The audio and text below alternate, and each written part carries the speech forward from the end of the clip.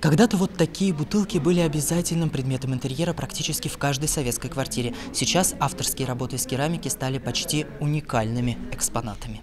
И дело не в отсутствии талантливых художников. В стране закрыты практически все крупнейшие керамические центры. Еще три года назад у группы художников «Цех номер один» была своя творческая обитель – Гжельский керамический завод. После его закрытия мастера решили объединиться и с тех пор организовывают выставки в городах России.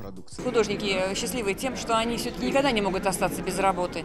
Художник, даже если у него не будет бумаги, найдет рисовать что чем-то на стене и так далее. Но даже и это не спасает, признается Елена. Главная проблема в том, что керамика из большого авторского искусства давно уже превратилась в сувенирную продукцию. Отмирает стиль и уходит эпоха, признаются уже ярославские керамисты.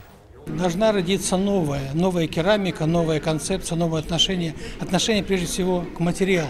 Искусствоведы отмечают, что то самое новое отношение среди мастеров уже начинает формироваться. Главное, чтобы у художников были условия для творчества. Рукотворность, она всегда будет в цене, потому что это всегда искусство, всегда в авторском уникальном исполнении. Вот так же и на этой экспозиции. Уникальные и неповторимые работы. Здесь каждый из художников дополняет друг друга. И это не случайно, ведь керамисты, как и десятки лет назад, стали передавать свое мастерство по наследству. Иван Уваров, Владимир Чернов. День в событиях.